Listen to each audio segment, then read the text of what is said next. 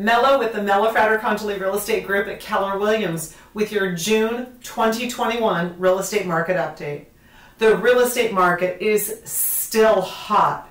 However, there are signs of seasonal slowing. If you remember last month, I talked about the market had been moving at 150 miles an hour and we had slowed to 125 miles an hour. Well, now we're cruising at about 110 miles an hour. Here's what's happening. In June, we did still see prices increase. As a matter of fact, on average, homes in Sacramento Valley are up over 25% from June of 2020. The median home price in Sacramento Valley is approaching $600,000. Where we're seeing signs of slowing, the amount of time it's taking a home to sell is increasing. Homes are averaging a little over two weeks now, whereas in previous months, homes were selling in a matter of days. We're seeing fewer homes with multiple offers. As a matter of fact, in June, 23% of all homes sold sold at or below the list price.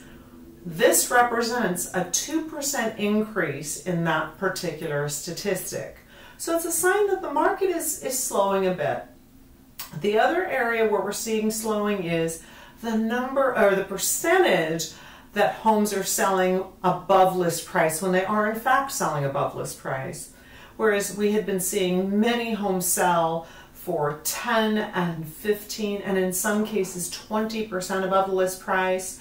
That number is drawing back a little bit and we're seeing a lot more homes sell in that 5 to 7% above the list price. So what does this mean for sellers and buyers alike in the market? For sellers, pay attention to the temperature of the market. You can still sell quickly, you can still get top dollar. This is still the greatest seller's market in the history of real estate, hands down. However, go into it with realistic expectations of what you want to achieve. And for buyers, there's a little bit of opportunity in the market. The market's ever so slightly less competitive than it was three or four months ago, and many buyers are now getting their offers accepted easily. If you're thinking of selling or you need to buy a home in today's market, contact us. We look forward to turning your real estate dreams to reality.